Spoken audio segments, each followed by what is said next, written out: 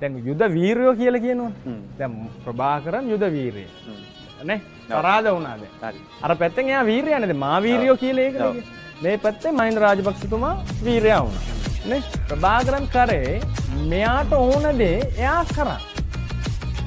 ප්‍රභාකරන් නැත්තම් මෙයා වීරය වෙන්නේන ඉන්ට ඩිපෙන්ඩන්සි පේෙන් නැත්ද මෙයා නැත්තං අරයන්න ජාතිවාදය මෙතන නැත්තං අතන නෑ. අතන නැත්තං මෙතන නෑ ගැටෙන්ට මොනාර තියෙන් දෙපෑයි තකොට ඉංගලිෂ් වලින් කියනවා teach your children there is no glory in war.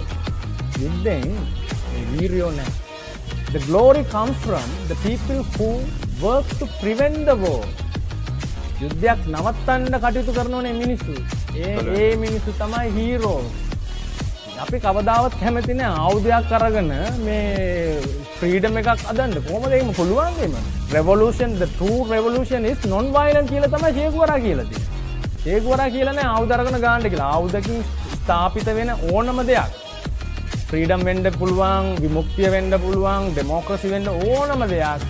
ඊට වැඩිය බලවත් ආවුදකින් අනිවාර්යෙන්ම අනි වාරෙන්ම නැති කරලා දාණ්ඩම දානවමයි